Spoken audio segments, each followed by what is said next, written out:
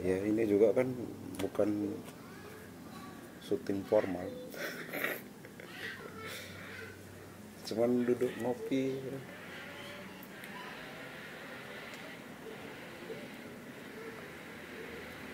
Ya jadi fungsi teman teman sekolah ya. Teman sekolah pada umumnya ya kan. Iya nggak sih? Kalau teman yang udah ketemu ketemu baru gitu. Enggak ya. Tidak juga lah silaturahmi. Enggak tapi teman sekolah pastinya begitu. Reunian gitu loh. Ketemuan ya kan. wah nanti cerita tentang tentang masa lalu. Tentang masa lalu terus lihat saya sekarang. oh ada yang sukses ada yang tidak ada yang lagi menata kehidupan. Tapi tidak semua lah. Mayo- cuman mayoritas menurut pengamatanku fungsi teman itu adalah untuk memamerkan kesuksesan. Bagian yang tidak sukses kasihan Bang. ya emang begitu kan tapi jadi pemicu. Pemicu naon seseorang yang tidak sukses oh yang lain sukses. Kurang geser begini dikit duduknya. Biar bagus di kamera. Ngakak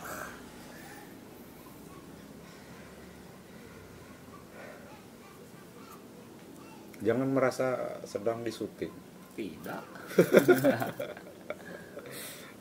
Ngobar ngopi bareng.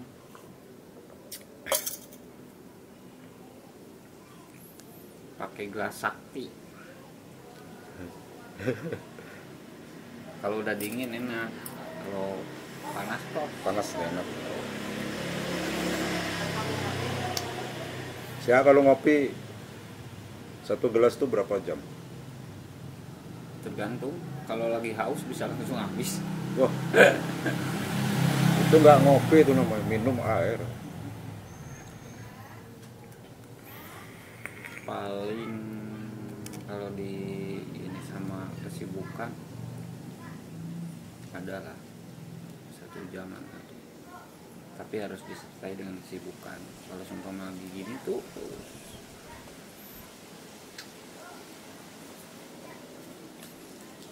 aku sih kalau ngopi pasti lama. Jadi bikin pagi sampai siang belum tentu habis.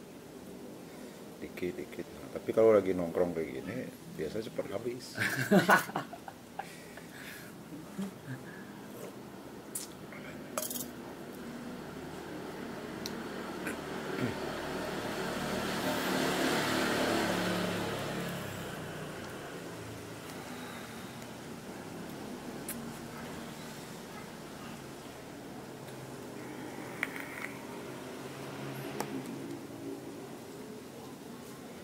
ngeri. Pembakaran ngeri. Ini pendamping lah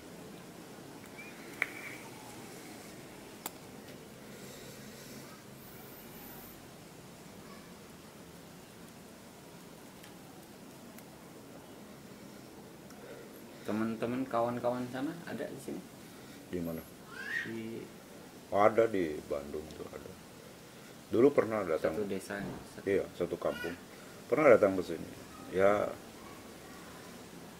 Terus dia mau memamerkan kesuksesan. Yang pasti di sini kan dia udah bisa mencalonkan diri menjadi anggota DPR ya kan. teman yang dulu tuh berantem sama aku di kampung sana waktu kecil. Yang kejar-kejaran pakai pisau dulu kan. Wow. datang ke sini tapi pikiran dia itu mesti ya kalau orang di sana itu berpikir wah jangan-jangan masih dendam. Udah berpuluh tahun klarifikasi dulu itu aku tuh cuman begini. Loh, ngapain itu diceritain lagi? Itu kan dulu dulu dia kejar-kejar aku pakai pisau. Mungkin kan ada rasa takut. Iya dia takutnya mungkin dia pikir masih eh, simpen unek-unek iya mungkin dia berpikir wah kita itu pendendam gitu kan. Takutnya begitu. Jadi dia klarifikasi. Panjang lebar dia ceritakan soal masa lalu yang itu. Dengan wajah yang kayak gimana? Loh. Memelas kan? Iya kayak apa ya harus tidak jangan dipermasalahkan lagi ini. Lah siapa yang mempermasalahkan? Udah 20 tahun lebih masa masih diceritakan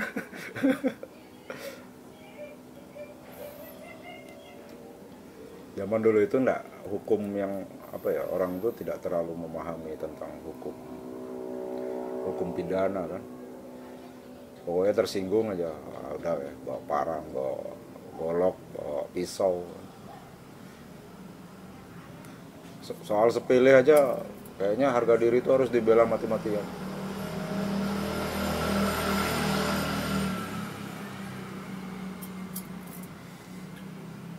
itu soal sepele itu. Aku lewat pakai topi topiku diambil aku ambil lagi dia nggak terima. Pulang ke rumah ngejar pakai pisau. Wow.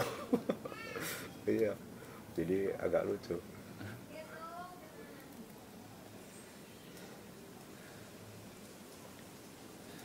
Ternyata anak-anak nakal itu menjadi orang sukses kan? Kebanyakan Bang. jadi pengacara dia di sini. Kebanyakan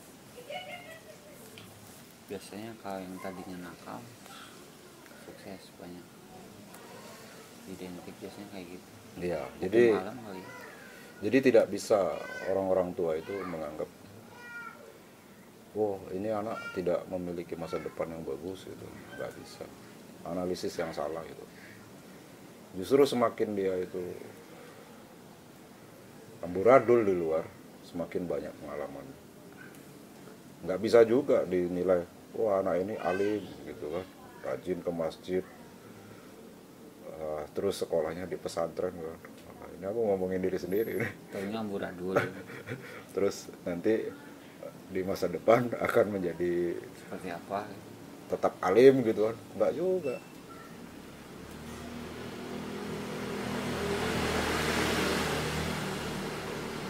Semakin memahami tentang dunia agama luar Ada tentang agama menurutku ya aku merasakan sendiri. Semakin memahami banyak hal tentang agama.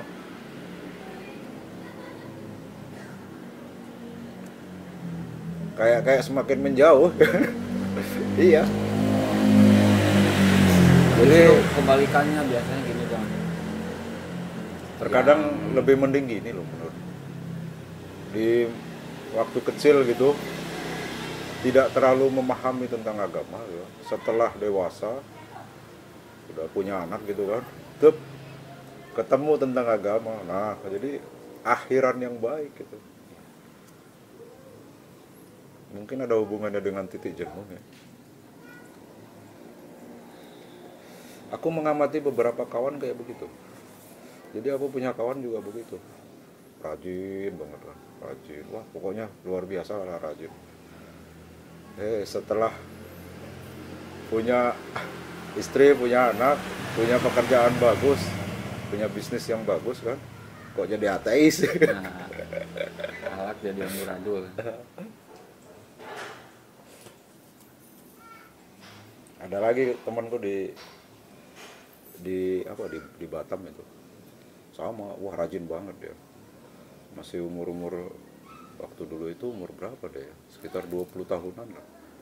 Rajin banget pokoknya kerja itu set azan wah berhenti sholat. Nah, sekian puluh tahun kemudian ketemu lagi sama aku ya kan?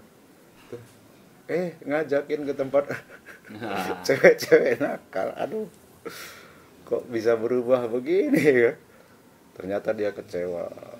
Mungkin dia kecewa lah ya. Mungkin ya dia sulit mendapatkan jodoh. Jadi larinya ke sana-sana.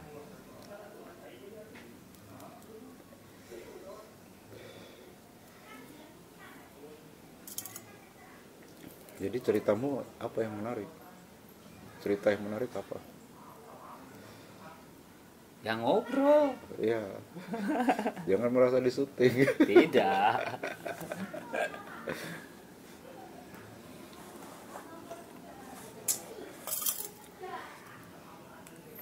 produser nggak ada santai aja. Produser aku nunggu orang gitu teriak-teriak. Ntar lagi ya. Ngobrol dulu ya. Habis ini tiap hari nggak udah makan dulu ya siang. Hmm. tapi itu jadi figur aja.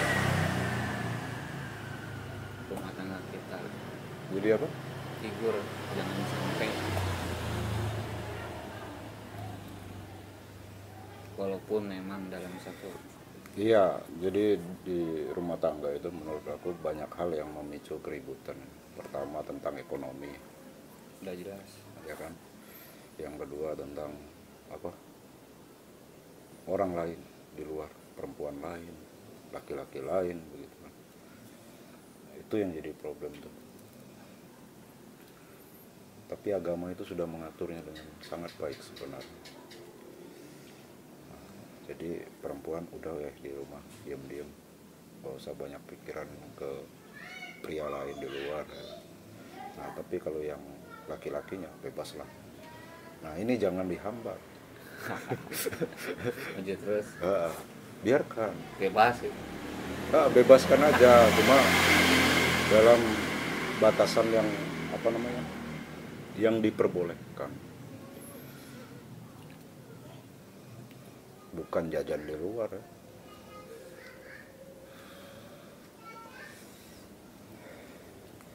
Kalau yang kayak kayak gitu dibahas terus di dalam rumah, ya itu jadi keributan.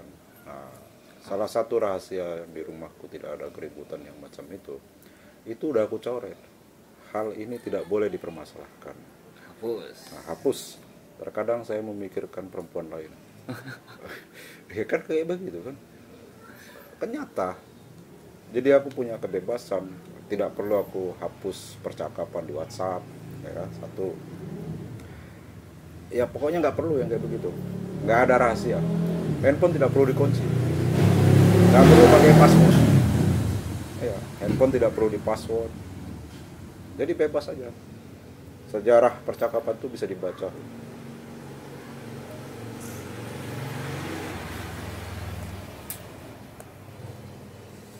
yang bikin ribut tuh kan yang kayak kayak begitu sih.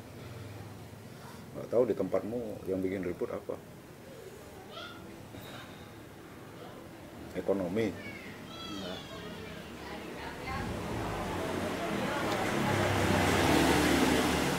Dari kewajiban.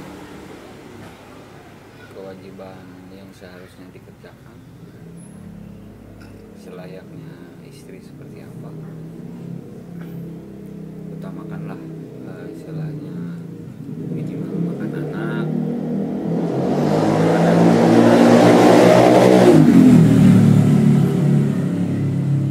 makanan buat anak kebersihan buat anak intinya itu sih kemarin kebanyakan dilalai kan nomor dua selalu mengurus kepribadian sendiri berapa tahun sih udah berumah tangga. Empat tahun. 4 tahun. Kurang sedikit lagi 5 tahun. Pas. Tapi itu nggak jelas juga sih. Bener apa enggaknya? Wait. Mana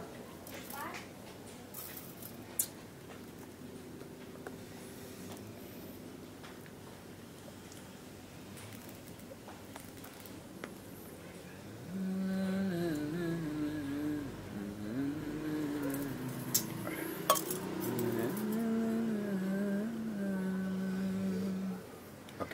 ini di kelas. Di tempat.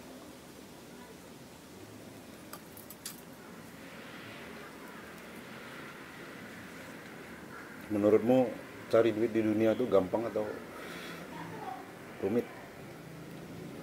Dibilang gampang bisa, digang, dibilang susah ya ribet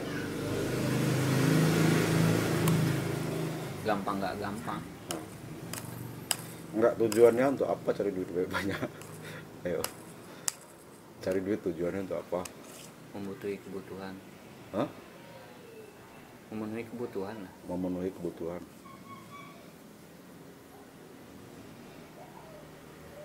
Agar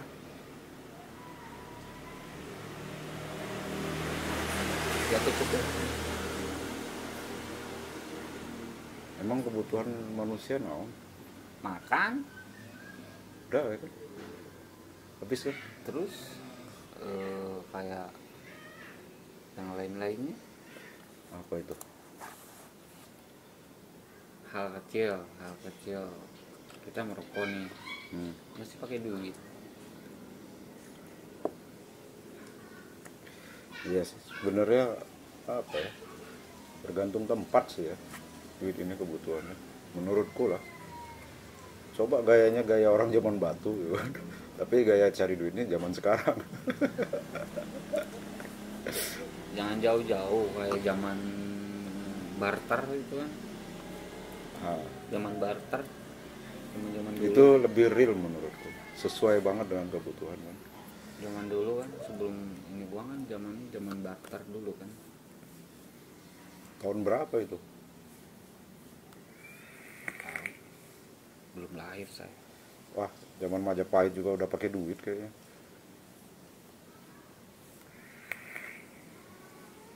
berarti sebelum zaman itu kan kan Mungkin. zaman barter kan Ada menurut catatan sejarah Iya, tapi belum tahu ya. Nanti cari di Google lah.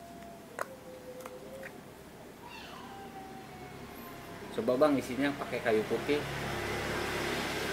Tetap bisa kurasa kurasa ya. Dia tetap mengeluarkan uap. Nah itu bagus buat tetap terapi. penghangat. Iya buat terapi bagus. Tetap bisa. Kalau nggak sabun colek kayak apa? Biar bersih dalam mengatasi corona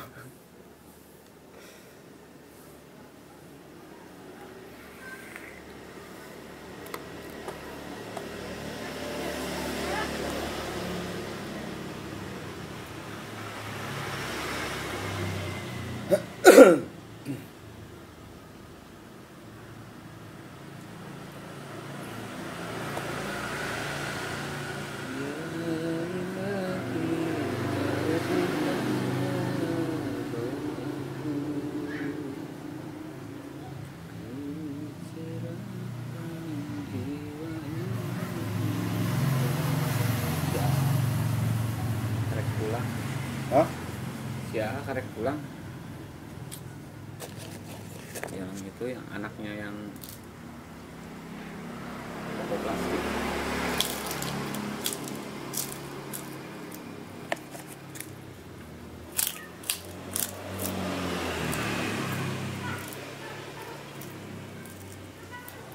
kok lama ya. Aku nungguin.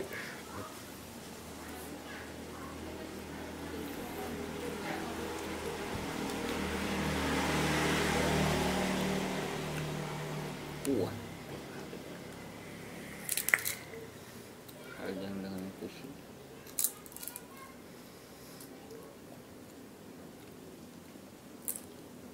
aku sih kalau di rumah itu apa ya nggak ada sih yang diributin. Paling kayak kayak yang kemarin itu kayak orang tua lagi ngomel ngomelin anaknya. Sesuai target ya. Aku tuh punya harus punya istri kayak begitu. Woi, jangan ribut.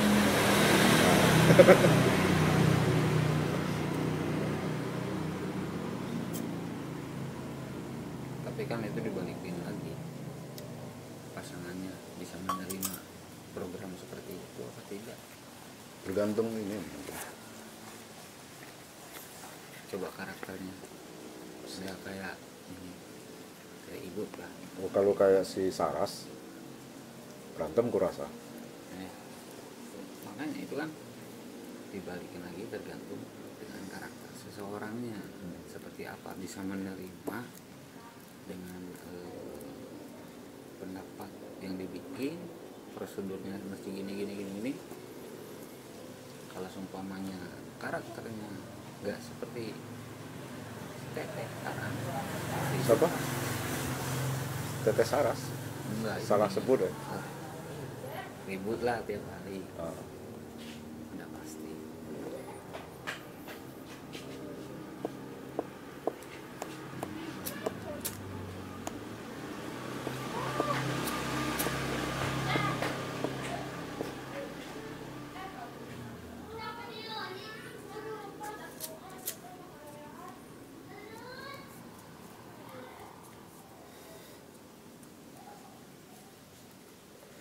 nah macam mana tentang handphone? Handphone. Belum. Terlaba nyoba dulu. 2 per 32 spesifikasi. Jadi pembelian bukan berdasarkan merek tapi spesifikasi. Tapi merek juga perlu ya. Karena untuk pengalaman aja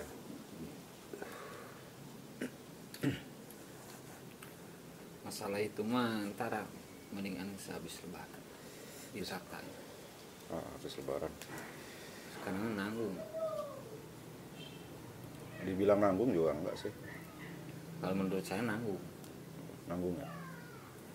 Bisa ini diutamakan. Hmm. yang ini? Terbengkalai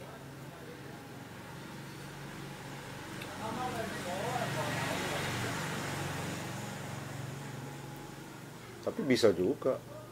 Tuh dia datang. Diadakan. Terus kembangannya tambahannya. Ya tambahannya dari yang kemarin. Wah cocok itu. Tapi kan di- tidak memerlukan waktu. Apa? Sedangkan sekarang kan waktunya benar-benar mepet. Lebaran bentar lagi. Nah justru momennya pas lebaran itu. Kan momen silaturahmi nih. Ya kan? Tuh berapa puluh orang itu yang kita jumpa itu. Wah sempat banget itu. Jadi pada saat lebaran itu kita aduh kok mati dia? Setan. Oh lampunya aja yang mati. Re- rekamannya masih hidup. Jadi gini. Kan lebaran ya lebaran kan momennya orang ketemu sama orang ya. Nah orang ketemu sama orang. Nah menurutku pas banget. Ya kan? pada saat orang tuh lebaran tuh cuman buangin duit ya. Kan? kita itu kayak nerima angpau. Pas lebaran kita tapi nerima kan tetap angpau. bang nggak bisa diambil langsung semua.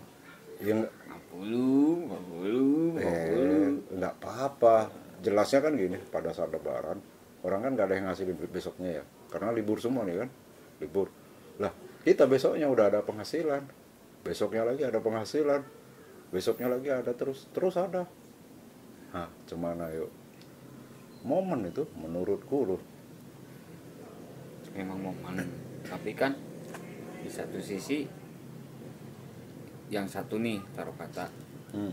kan harus blok benar-benar nggak mungkin 50 50 50 yang mana dulu? Ayo.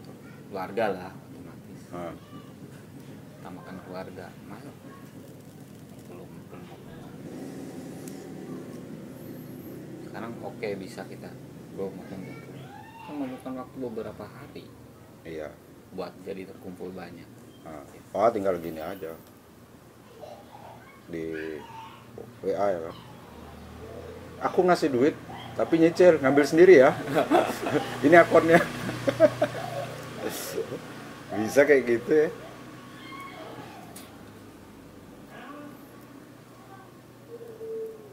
Oh enggak sih. Dari ini aja. Nah. Dari ibunya. Kan ada akunnya beneran? Ada akunnya nah akun dia itu. Nih trik ya minta aja kodenya dari dia. Udah diisiin di sini. Otomatis kan di sana jalan terus tuh. 50 50 50 50 50 nah punya kita juga jalan sendiri. 50 50 100 toh. Udah didaftarkan kemarin. Tapi lebaran saya jarang. Hmm? ya jarang ketemu sama orang. Nah ketika ada bisnis di dalamnya otomatis kan? Ya, wah harus ketemu ini. Temui semua. Wah. se salah mah pinjam handphonenya bentar. Oh ada. Nggak jadi. Pinjam. Oh nggak ada. Download ya.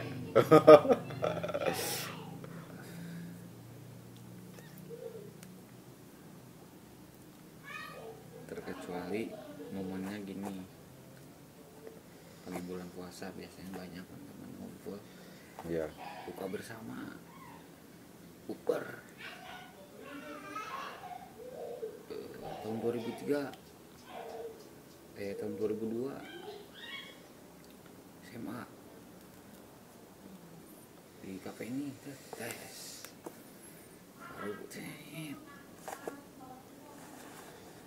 Momen-momen lagi ada momen ngumpul ya pada saat momen itu ada ya programnya belum ada. Programnya sekarang kok. Tapi sekarang kan dia bulan puasa banyak. Buka Iya. bersama. Ya kalau mau sekarang. Mah. buka bersama bareng-bareng. Itu kalau yang pandai mereka bisa.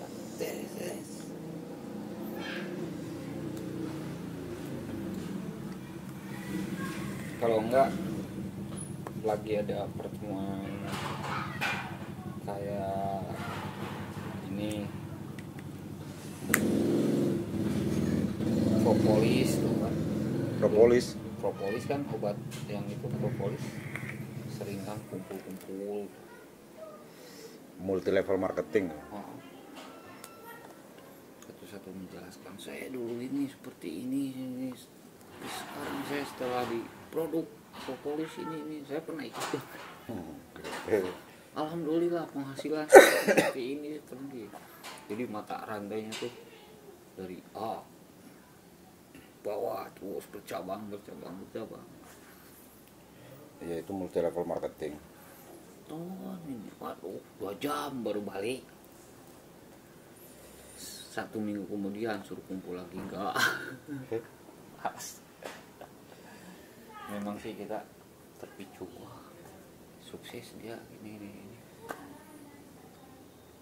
ya namanya marketing ya kalau Dan dijalankan lah dengan duduk seperti ini mendengarkan basic kurang enggak. Ini nama marketing tuh kayak begitu aja. Kok udah ada suara? Belum ya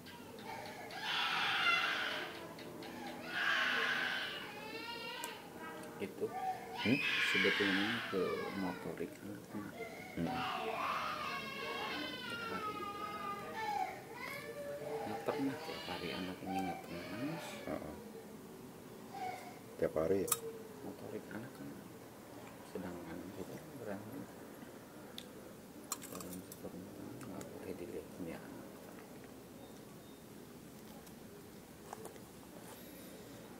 makanya anak ini harus saya perhatiin lihat sama orang dia tunduk.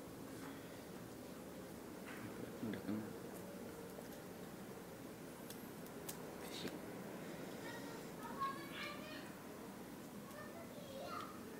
Dan itu akan selalu di di masa ntar ya Jelas. Jangan lupa seperti itu.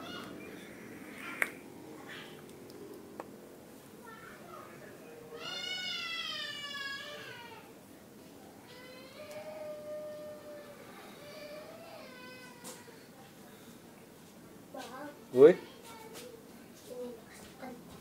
Oh, ya. Makasih ya, Sia. Ayah mana ya? Ih, nanti ke sini ya, Hmm. Duit ini mah. buat apa arti uang Coba buka. Tidur. eh Oh, iya, buat apa ini arti Tuh, lihat uang sama. Sama, juga. Ya cuman buat punya punyaan aja Ah, buat kebutuhan dong. Tapi aku nggak pernah kepikir ya. Aku tuh cuman kepikir apa?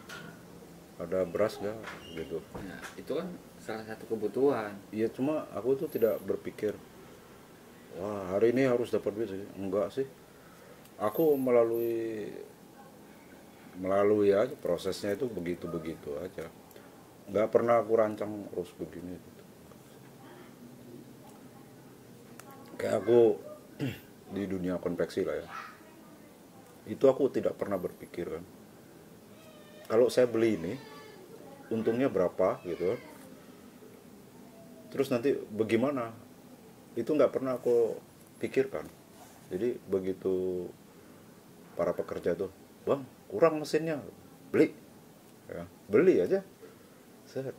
padahal produksi kita ini akan teruskah atau tidak gitu kan yang kupikirkan tuh kalian tetap harus bisa bekerja. Sampai project gak ada gitu kan. Duh kasihan orang-orang gak ada kerjaan. Udah nih berangkat sana beli kain. Dulu tuh kayak begitu aja. Terus bikin apa? Bikin aja apa yang bisa dibikin ya kan? Bikin. Aku bikin topi bang ya. Bikin lah ya kan. sampai numpuk topi nggak jelas. Beneran tuh mbak masih banyak aku. Topi-topi lama topi koki topi apa. Dan tidak terjual memang. Tapi aku merasa puas aja. Mereka dapat gaji ya udah topi kumaha bang lihat topi koki. Ah, ah. Wah, cocok itu buat nanti dicari. Topi kopi yang panjang masa di jalan pakai enggak ada yang pendeknya ada nanti aku cariin masih ada di sebelah mana nyimpennya lupa aku. Kirain topi biasa. Kalau topi biasa kan bisa dipasarkan. Enggak lah buat ini aja jualan. Hmm. itu dari kain-kain yang nggak jelas aja. Jadi beli kain nggak berguna kan? Ya udahlah dibikinkan topi. Kemarin rompi kan rompi jala itu. Banyak dibikin kan karena nggak kepake-pake nih rompi kan kebetulan bikin rompi butuh puring dalamnya kan tutup bang tokonya ya, ya sudah ke sini aja. Ada kok kalau buat puring aja. Wah ku kasih rompi jadi nih. Bongkar aja jadiin puring ya. Loh sayang nih biarin aja. Nah, itu perbuatan dulu kan aku cuman ngasih kerjaan aja semua orang dulu. kan.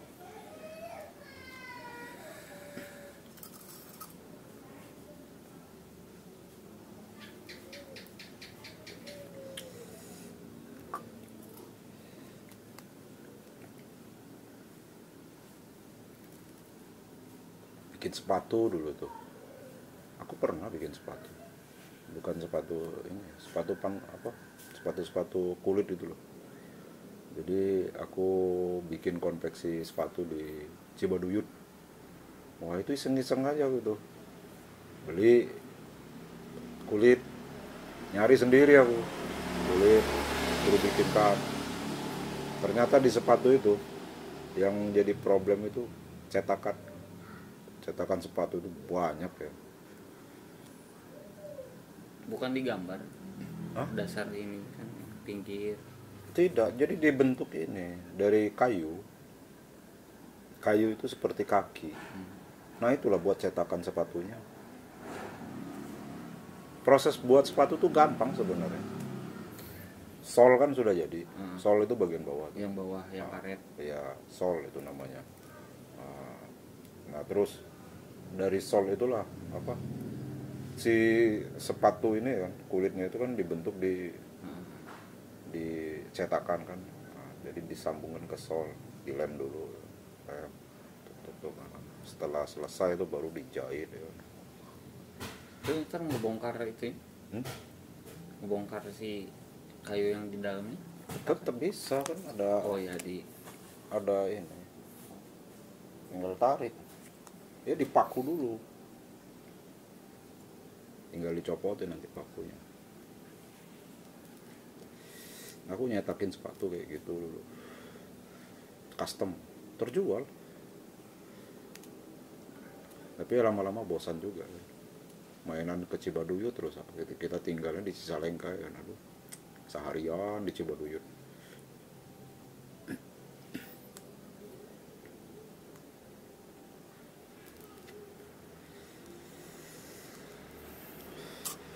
jadi nggak pernah mikirin ini harus untung sekian gitu enggak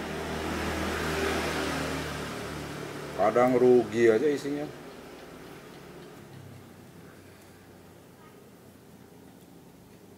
Lupa bisnis itu mah jadi ibaratnya cuma kesenangan aja Sing berhadiah.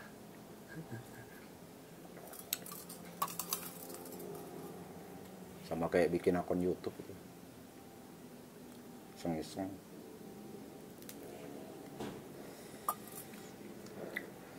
Setidaknya sudah aku alami semua. Jadi semua kegiatanku itu bergantung apa unsur awalnya itu cikal bakal seluruh yang aku lakukan adalah perbuatanku di game Great Merchant. Ah, jadi dulu aku tuh waktu masih bujangan dari sore sampai pagi main game. Nama gamenya Great Merchant. Great Merchant itu perdagangan antar negara. Korea, Cina, Jepang, Taiwan. Empat negara ini. Jadi di situ ada pelajaran besar itu. Pelajaran ekspor impor ya. Jadi ambil barang di Korea jual di Cina ya. Dari Cina bawa barang lagi jual ke Jepang dari Jepang bawa lagi ke Taiwan gitu. ah begitu ya di game itu dia orang-orang yang dihargai itu adalah orang-orang yang punya uang besar uang banyak disebutnya hengsu ya. Nah, nanti dia menjadi investor di kota A B C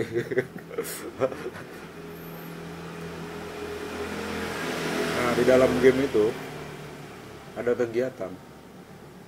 Kita itu ah, bisa menjadi pemburu gitu kan.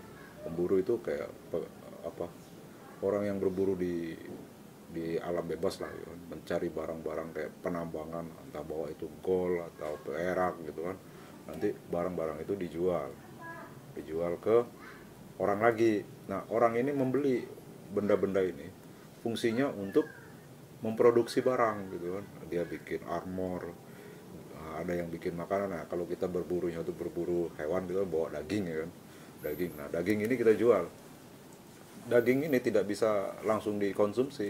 Nanti ada pabrik pengelolaan daging tadi kan. jadilah makanan dia.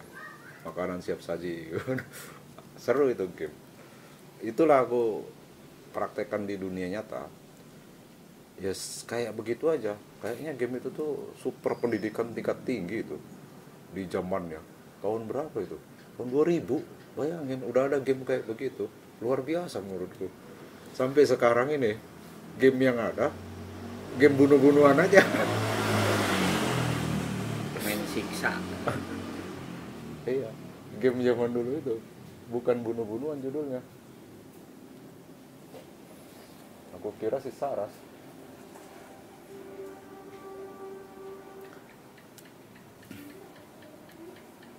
luar biasa itu. Bisa membuatku begadang dari bisa 24 jam aku main itu. Tidur di warnet apa semua.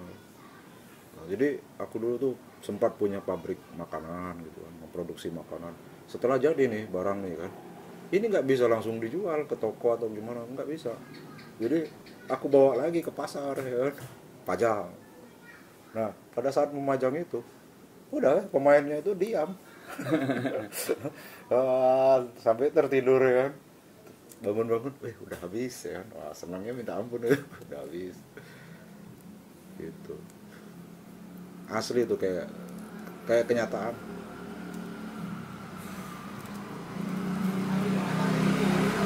Dari situ aku praktekkan semua kan? Bikin pabrik makanan ya kan? Jualan home industry yang dulu yang aku ceritain tuh.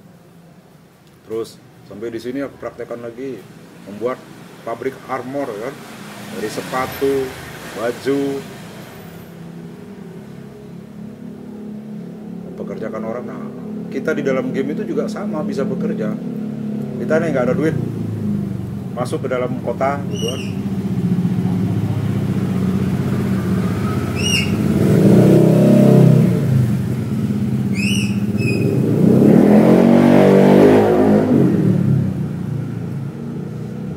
jelas dia kalau di jalan ditangkap polisi kan? Di mana letak kenikmatannya bawa kendaraan? Lewat kampung dimaki orang kan? Walaupun maki dalam hati kan? Kan jenis ya. Heeh. jadi masuk ke dalam kota set. Ya oh lagi produksi baju gitu. Daftar bekerja. Upahnya sekian udah tertera itu. Mau nggak ngerjain? Oh mau kerjain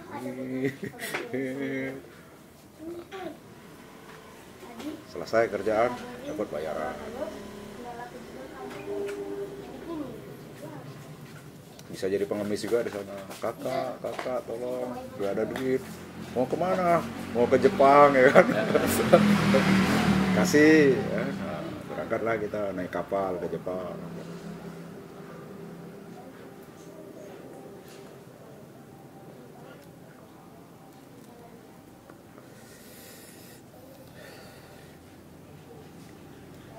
dulu nggak punya pengalaman main game ya? Bukan saya gamer ya? dalam segini ah, kurang. Kayak sekarang aja. Anak-anak zaman sekarang main game nomor lahir tahun berapa? 84 84 harusnya lebih milenial dari aku dong. Aku mengikuti kegiatan anak-anak sekarang ya. Ya? Jadi no comment lah cukup tahu udah. Iya. Enggak sih kalau game sekarang itu. kalau dulu kan apa dingdong ya itu zaman lama banget itu. Dingdong tahun 90-an itu bukit bukit Oh, iya. dulu gitu. Tahun 90-an Ma- malah di tahun itu aku tidak tidak terlalu ya. Bagian kesel. Dah. di zaman itu aku nggak terlalu bukit bukit karena pakai duit itu kan. Terus yang si itunya bercetrum itu dulu mah. Iya. Strike Victor namanya. Nggak gini Kayak mirip yang itu ya pakai gini di di mall-mall ya. Dingdong kalau sekarang apa terus maju pakai kalau bagian kalah tendang tempat koinnya des Nintendo terusan kan. Habis Nintendo. Sega dulu. Sega dulu ya. Sega Nintendo. Sega paling apa? Mario Bros. Tudung, tudung. Ini masih bisa, woi. ting ting ting ting ting lung lung lung gitu. kalau zaman Sega udah beli. Beliin kakak dari? Malaysia. Ini kamu? ya kan pernah di Malaysia kerja di Samsung ya. Jangan terlalu, dari. Malaysia. wah Sega. Yang Sega. TV-nya masih hitam putih.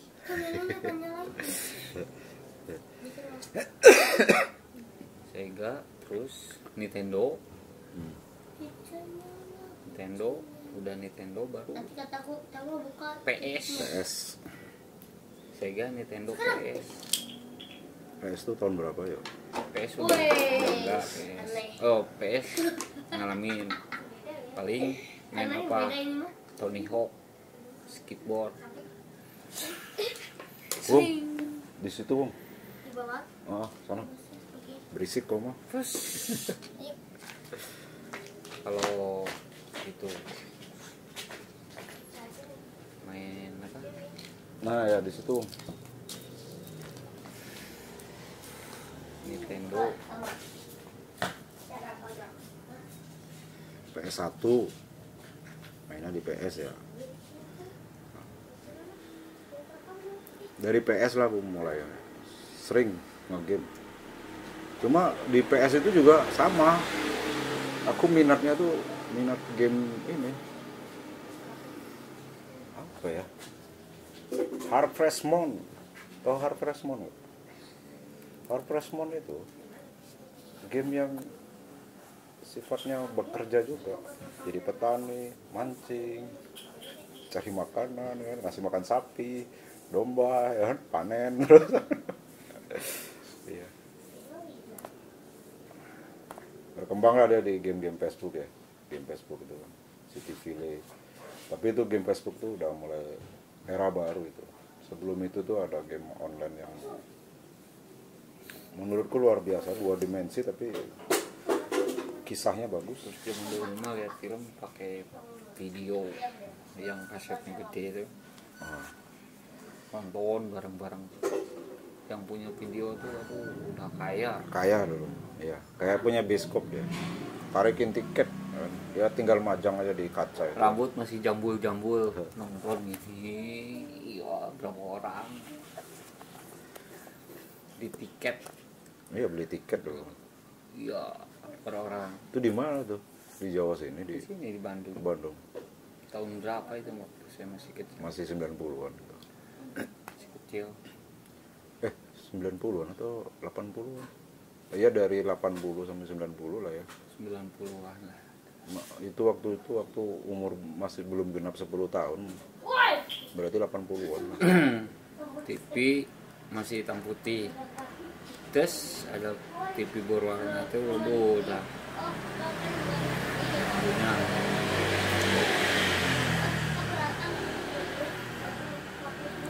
udah orang kaya ya? Masih radio juga masih yang kotak. Kalau di kampung-kampung ceritanya bawa kepok terus dalam TV juga paling CPRI filmnya apa? Paraden. Pak Raden tuh Yoga.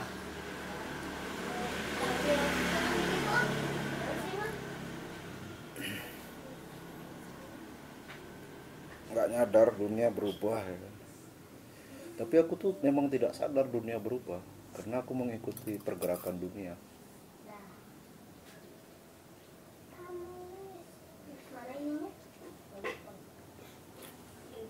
globalisasi.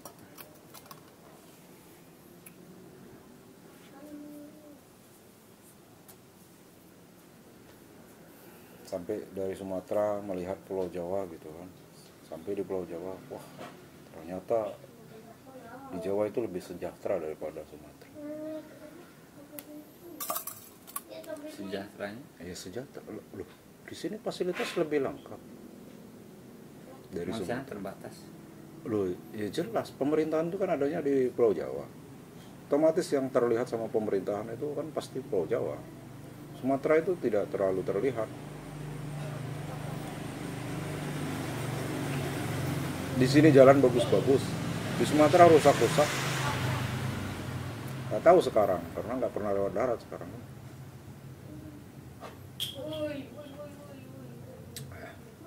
Tapi kan bisa browsing loh ya itu kan sekarang. Zaman dulu apa yang mau di browsing iya walaupun dulu itu aku terdamparnya kan di Jawa Timur kan. Masih tetap bagus Jawa Timur apa? Irigasinya bagus ya. Jalan bagus trotoar bagus ya. jalannya mulus-mulus. Bagus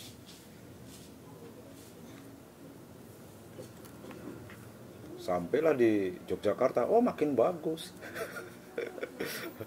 Terus sampai di Bandung masuk Jakarta Bekasi. Wah luar biasa ya. Bekasi mulai padat. Nah, Bekasi di iya, mana? Be- Bekasi Bandung mah sama-sama padatnya lah. Bekasinya di mana? Tambun. Tambun dekat Kalimalang nah itu kelebihanku. Aku walaupun tinggal di mana aku tinggal di Jakarta. Di Tebet aku tinggal Jakarta. Aku tidak tahu Jakarta. Karena aku begitu menikmati kamar. Jadi setiap hari itu aku berada di dalam rumah. Di mana aja di Bekasi juga sama. Aku tidak ke mana-mana. Udah weh, di ngontrak di sini udah. Di dalam itu 24 jam bisa Misalnya dulu pernah di Bekasi saya. Walaupun itu seminggu sekali ke Bekasi dari Bandung. Dulu di dekat SGC Terminal Bekasi. terminal Bekasi Sebelahnya kan ada rumah sakit Bakti Usada Hmm. persis di belakang kosan yang saya tuju sana satu minggu sekali kasih lewat Purwakarta pakai motor trek pulang kalau nggak lewat Purwakarta lewat Jonggol Hmm. Ces. Jonggol tahun berapa ya itu 2007 2007-an ya. Sering jalur ke Bekasi 2007 seminggu sekali Bekasi. sama motor Jupiter keluar yang buat Hmm. 2007 kan punya motor itu kebetulan eh, cewek saya ini di rumah sakit ke sih, Bandung Rumah sakit Bandung. eh, Pas. Ah. Hasan Sadikin apa? Hasan Sadikin ya pindah sama berbakti wisada Jaal Faisal seminggu sekali dan akhirnya meninggal asli meninggal Siapa meninggal? ceweknya orang Cirebon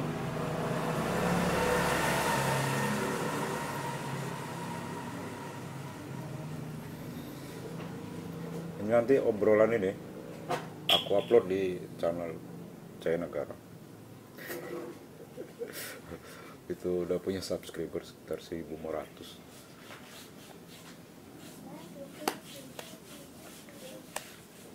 Jaya Negara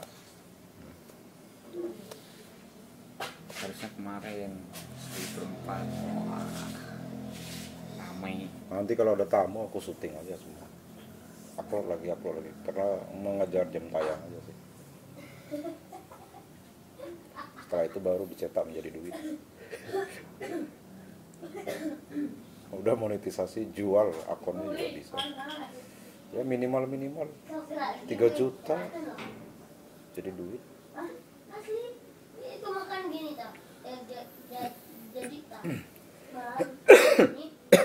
Besok mic datang kan. Wah itu bagus lagi tuh buat podcast ya. Cuma nggak bisa itu itu harus jalurnya bukan ke handphone, langsung ke komputer. bawa komputernya Jadi ngerekamnya itu harus ke komputer. Dari HP ke komputer dulu Yang bisa outdoor tuh mana ini aja. Panjang. Nah, cerita ini udah 54 menit. buat wartawan Iya, aku bikin lah ini dua jam.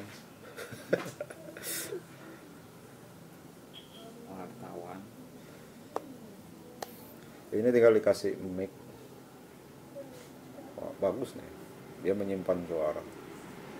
Kita colokin sini, ini kan pakai mic ini juga bisa bisa pakai headset, ya mendengarkan suara. Jadi ini untuk micnya, pasang mic, enggak micnya yang dari headset itu bisa nggak bisa, nggak bisa nggak bisa. Ini jalurnya. Jadi masuk sini mic, pasanglah mic satu, mic dua, gitu.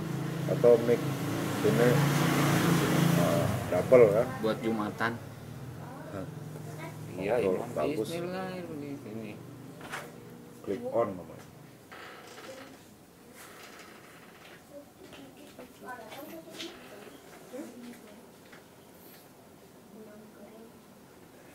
Nah, ini harus disimpan untuk sendiri. Digigit tikus ya.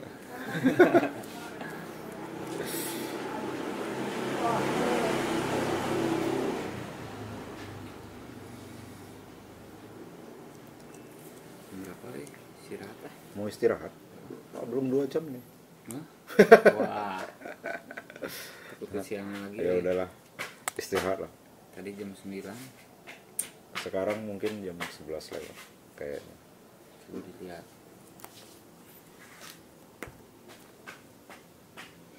Nggak kelihatan juga.